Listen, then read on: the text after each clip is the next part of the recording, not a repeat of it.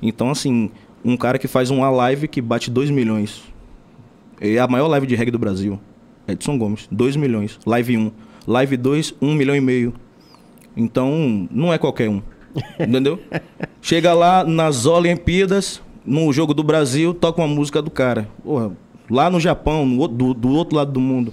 Entendeu? E é. essa resposta da live também de outros países, né? não só brasileiros que moram fora, mas estrangeiros que, que, que tipo assim, é, bateu muito forte na Angola, por exemplo, que consome muito a música brasileira.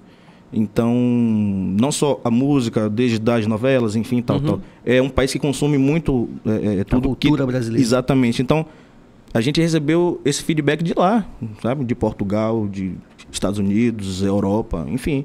Então não é qualquer um, sacou? Então em todo lugar que eu chegar para poder dizer, eu chego com a bagagem de falar que é importante sim e que tem que ter respeito sim. Sacou? Sem dúvida. É isso.